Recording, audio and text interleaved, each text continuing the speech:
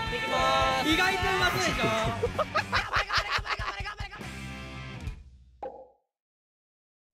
やはりこう序盤い。い。キルは先ほど試合も入ったんですけどテンポをつかむためにはもうお前らええやん遊んでくれよまあ、序盤のええってアーゴットとか番宣くて作ってそれを、えー売り上げ行こう売り上げ行こううとい。こ売り上げ行こ取ってい。く必要がううん絶対ウディアがい。い。よそうしよウディア。そしてダムは本日の2戦目でも見せたうなんだと？重要視したドラフト。FM としてはトリスターナとここでのはどうなのかなと思ったら来ましたね。面白プッシュ条件取りやすいですしそんなプールがそういえばあった。ウィンレートが20%だうんなあのディセンゲージ考えてもやっぱりもう一回アリスターだけどねこれ。確かにセトも面白いかもしれない。序盤としてはさすがにセトでなあぶっ飛ばし面白いかもしれない。ここはジャングルですね。当然ビッターショーメーカー選手がか完全に集団戦？は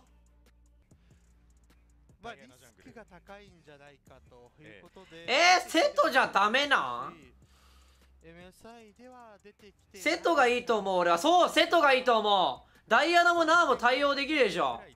おーしじゃあ来た！レベル。はディセンゲージの面でちょっと弱すぎるよ。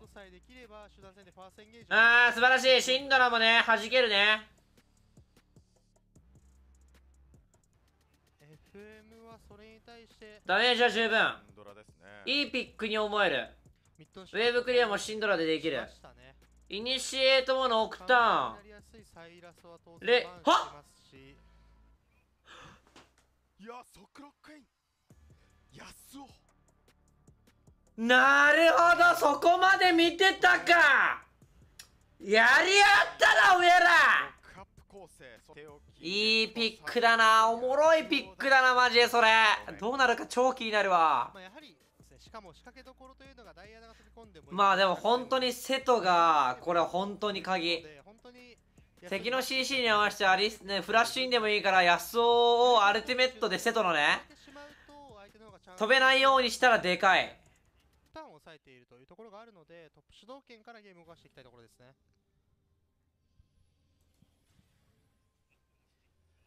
さあそれでは見ていきましょう選手が諦めてないなら俺たちが諦める理由はないんだな。頑張ろう。さあただワードを置いたのはバレていたのでここはトリンケットをベリルが使用してひ取っていきましたね。CS ワードの CS は正面から。ワードを使ったね。ワード使わしたね。いいぞ。戦い方も分かってますね。さあそしてこちらはトラップにもなりますか？この動き今まで攻めていこう攻めていこう攻めていこう。やってないですね。警戒してるか壁際走ってんなあいつ。いや仕掛けられるか？ー微妙すぎる微妙すぎる微妙すぎる微妙すぎる微妙すぎる微妙すぎる。イグナイト？おわい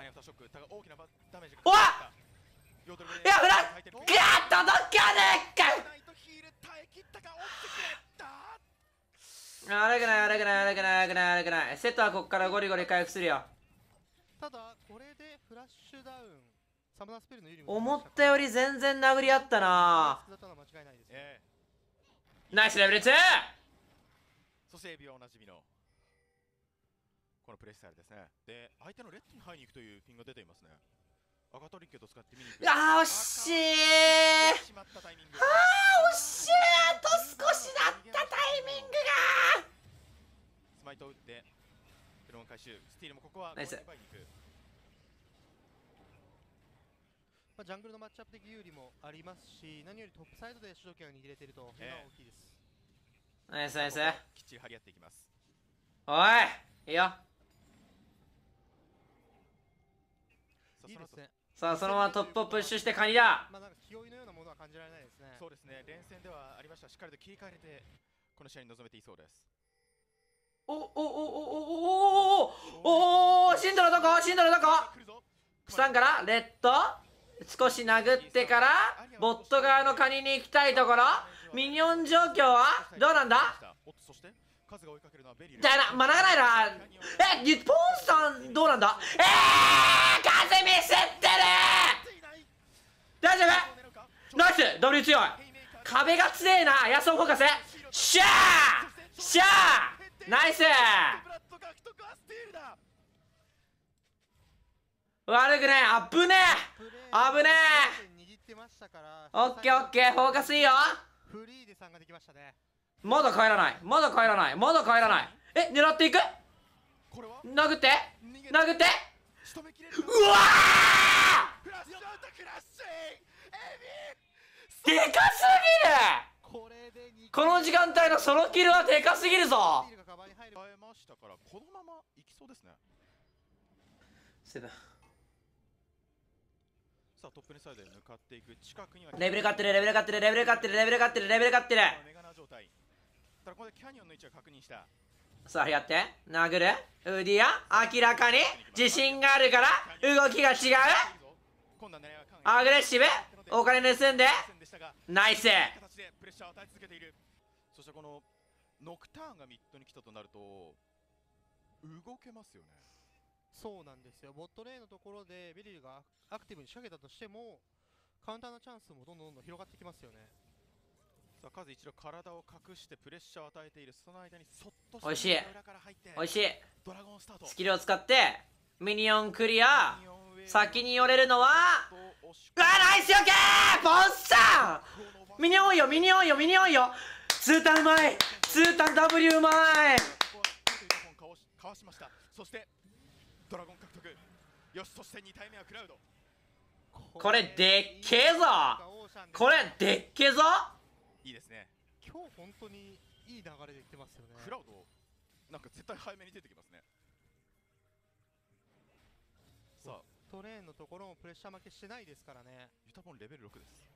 さあ数が走る。スタンは決まっている。ねえまあまあまあしょうがない。それはコミュニケーションだ。どんまいどんまいどんまいどんまい。いやどんまいよ。今のはどんまい。そのキルになりました。ダイアナが後ろに見えてトリスターナが前ブリンクできなかった分のダメージが足んなかっただけだから多分今のダイ前ブリンクしてたら足りてたよ。ですがこれは。しかもこのレーンローでしょも本当にうまくいっていると思いますね。効いてますよね足りる足りる全然足りるカス B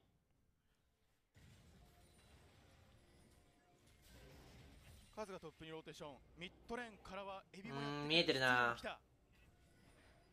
テレポートは現在ダムはない。ミニナーになる。ノクターンの圧もあるしね。ノクターンの圧もある。レベルは5シンドラのマナが怖いなシンドラのマナ怖いなヘラルドもマナ回復しよう。よしよ持しおいちおいち。まあ安尾相手ノクターンアド取れるしアルティメットの圧を増やしたいってことでミッドにノクターンいんのはでかいけど。苦しいなちょっとユタポンの CS 差がかなり開いてしまっていますね。これによってゴールド差が500ゴールド近くまで広がっています。ちょっとノクターンのアルティメット使えなすぎてる。なナイスじゃあフラッシュあるよそれ。フォーカスを変えてる。あーナイス。2フラッシュさあセット捕まるけどどうなんだ？ヘイメーカーフラッシュアウト。うわー！そのタイミング！あーうめえなー。ナイスヒール。おおーよよく返した。としたら W 上がってるでしょ。カイト？カイト？カイト？ウディア？オッケー危ねえ。あぶねえ。引くことができそうですまだ1ストレート。が大丈夫そうですね。逃げられそうです。理不尽だね。あのコンボマジ理不尽。避けようがねえでしょぶっちゃけ。非常に高いバーストが出るんですがとりあえず今最優先でやってほしいのは数にレベル6になってほしいですね。そうですね。リプレイです。ここまま浮いたところいいナイスよ。でそこからフォーカスコールナイスダイアナ行こうとしたけど若干浮いたね。で相手の仕掛けに対して釣ったう上でわうまフラッシュで逃げようとしたんですが綺麗な形で入ってただよくここへタポン返した。このままエビ落とされていれば本当にポンさんに入ってたらベストだったけどまあそんなことを言ってる場合ではないな。くれました。6になれるでしょうか？ノクターンの TP がある。あのインチキインチキルとできんじゃない？ワンチャン。アルティメットからの TP これは鍵はノクターンだよ。鍵はマジでノクターン2キル持ってるからね。この時間帯に影響力出せなかったらどんどん腐ってく。さあドラゴンで勝とうぜ。クラウドドレイク。おーっと止めに来た。ノクターンを通常攻撃。ナイス。まあまあまあまあまあまあまあまあまあまあまあまあまあ十分十分十分全然いいでしょシンドラブルーあるタイミングちゃんと合ってるよタイミングスティールが狙っているただコントロールワードがねダイアナがフラッシュないからこの間触りたいマジで。ダイアナがフラッシュないのでかすぎる。もう触った視界はないぞ。ダマキア諦めるでしょうか。よし。取れそうですね。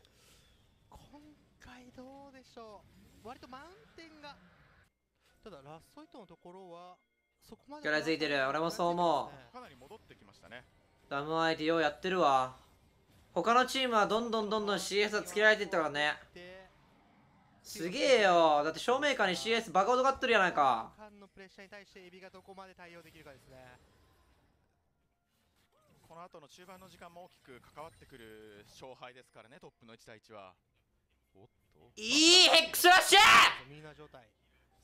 それ視界ある？それ視界ある？からパラ視界視界視界視界視界視界うまーい下からナイスキレおっぶんねー。危なかった今の。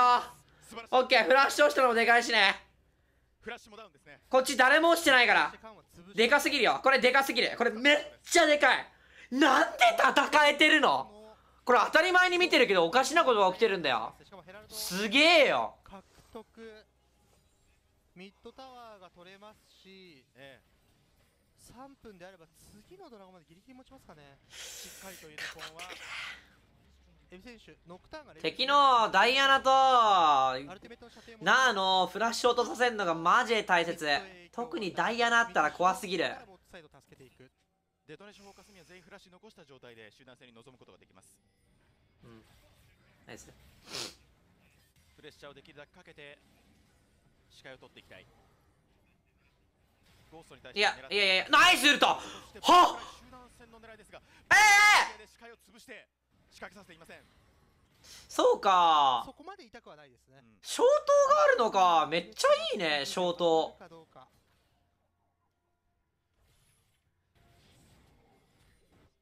さあミッドの主導権。そこマナ使いすぎるとよくないかもエビ君。あこれ大きいのはカンが全くメガナゲージためダイアナのフラッシュにピンして。むしろミーナーになった直後ですか。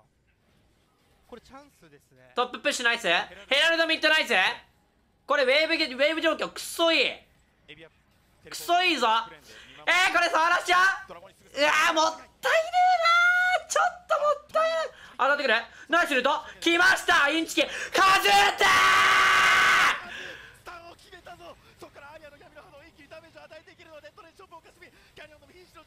しかし砲撃でアリアを巻き込むことによってそのまま照明感が落としきることには成功。ただそれでもすでに3キロを獲得している。取りこぼしたくないぞこの照明カー熊の方からスタンを決めて。うわー怖い怖い怖い怖い。ナイス！ドラゴンを取られましたが4キル獲得。デトネーションフォーカスミドラゴンを取るまでの判断は確かにダマさすがでしたがやっぱ数のパフォーマンスすごいですよ今日ナイス！す。すげえ集団戦あったぜ今の。ノクターンのアルティメットから視界を消していい完全に縦に入った！い。いやーだってセトのアル安尾のアルティメットセトが知ってるもん。最高ですよ。これかなりユタポンもカムバックしましたしいやウェルプレーベストだね。今のはマジでベスト。本当に大きいです。ね大きいです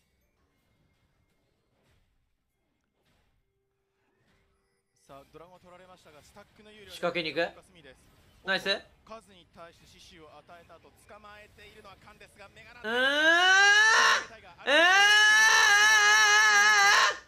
ん。スティールうまく逃げました。ここは1キル。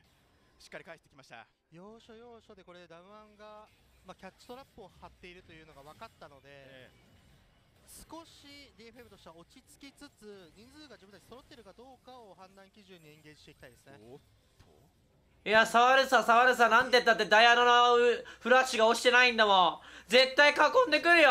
絶対。いや、もう義務でもいいと思う。それ事件起きるって。振りすぎる、振りすぎる。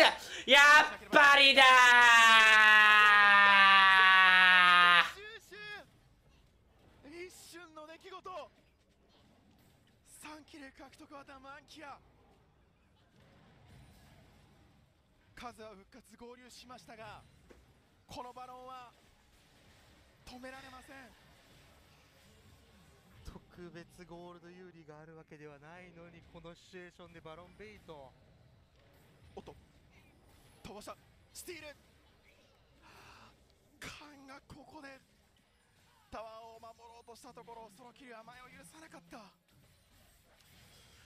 逆転されてしまいましたが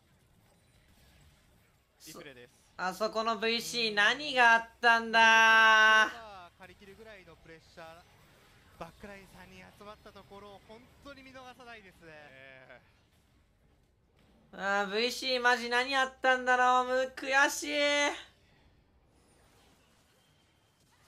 あーこれはなるほどショーメーカーのシーンですかきっ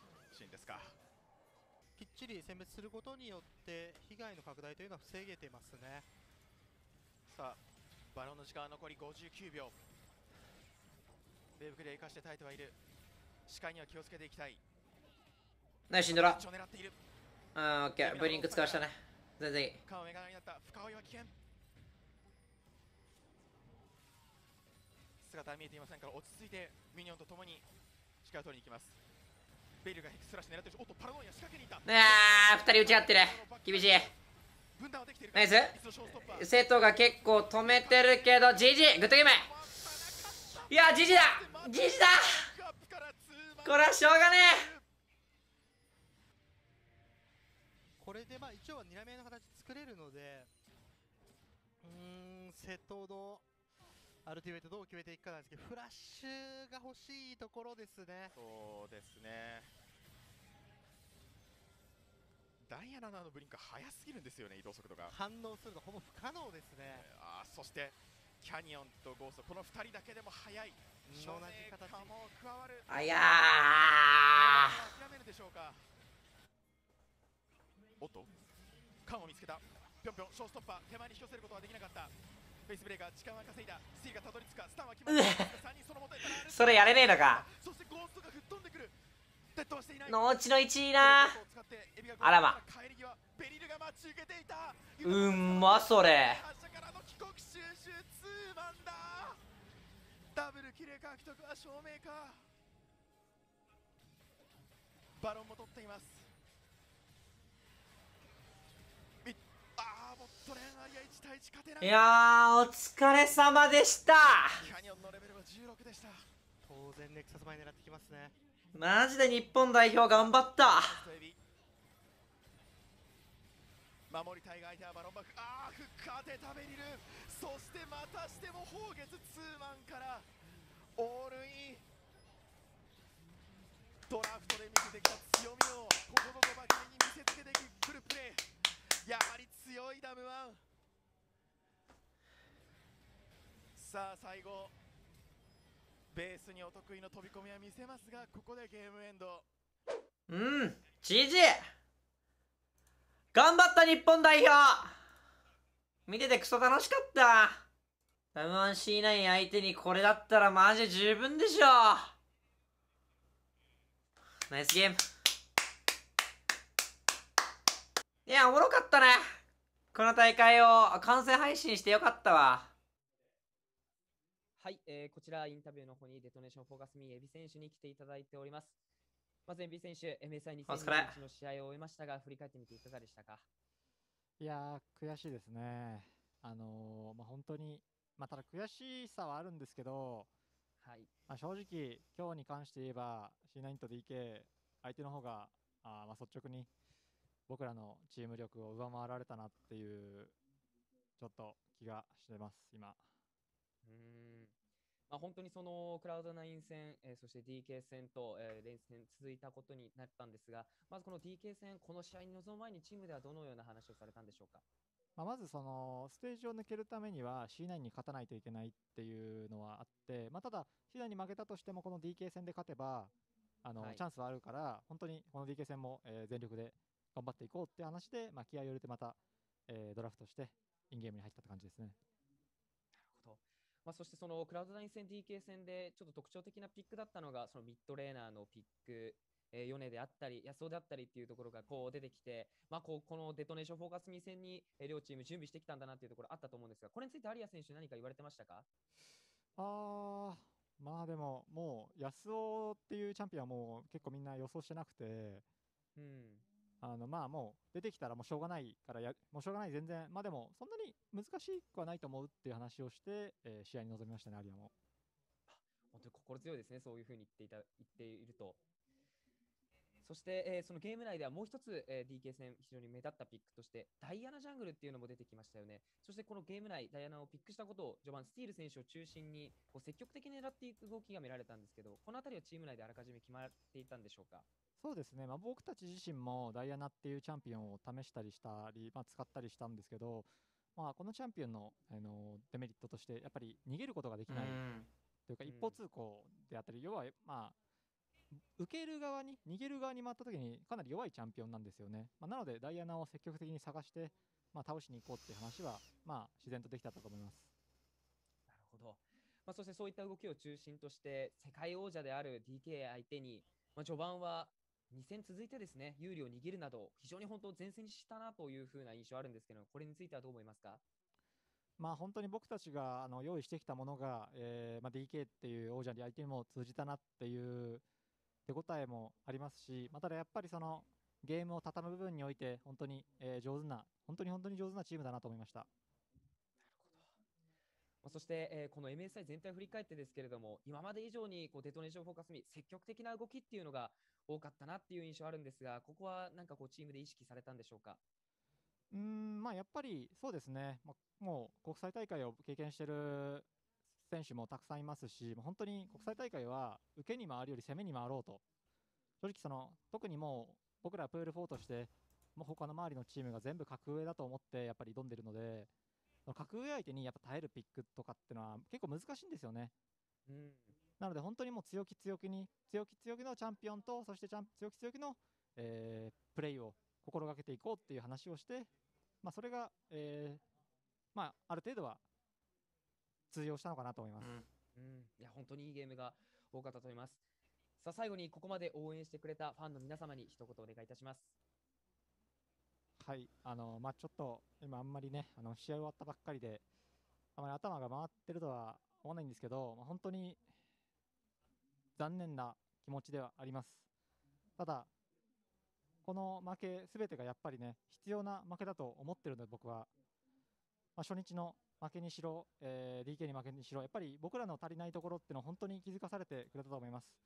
そして今日の C9 と DK 戦では、その正直準備期間2日間の空いたっていうことで、チームチームとしてのそのリカバリーが本当にうまいチームだなっていうのを感じましたし、そこを僕らも今後力入れていかないといけないなっていうのも感じましたし、本当に得るものが本当に多多かった、えー大会だったと思ってます。えー皆さんも本当に、えーこの日のために時間を合わせたり、仕事を、えー休んだり、えー仮眠したりして、本当に準備して見てくれたと思います。本当にありがとうございました。ありがとうございます。本当にグループステージ突破まであと一歩というところ、我々はファンの皆さんを本当に熱くしてくれました。ありがとうございます。デトネーションフォーカスミエビ選手へのインタビューでした。あありがとうございました。りがとうございました。